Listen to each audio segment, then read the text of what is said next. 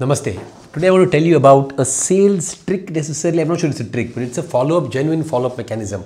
अगर आप मीटिंग करके उठते हो sales meeting में, what do you do after that? Once you do that sales meeting, it's a new prospect probably that you have met. What's your follow-up mechanism? Right after it, and I'll give you one tip. Right after the meeting, how are you going to make that person that has met you right now, that whom you have met, feel special? There's one way to do it. What I call is the thank you card. आज के ज़माने में ideally handwritten thank you cards great, but WhatsApp का ज़माना है.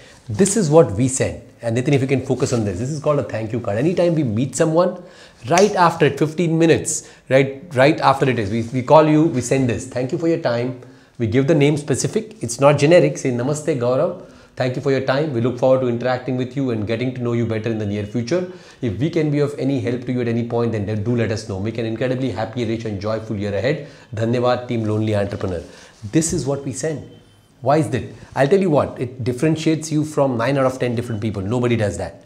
Nobody does that. That's a point that you should try to do.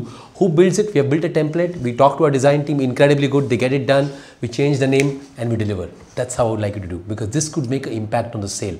It could make a difference for you to close that deal. So small things make a big difference. Go try this in your business tomorrow. Thank you.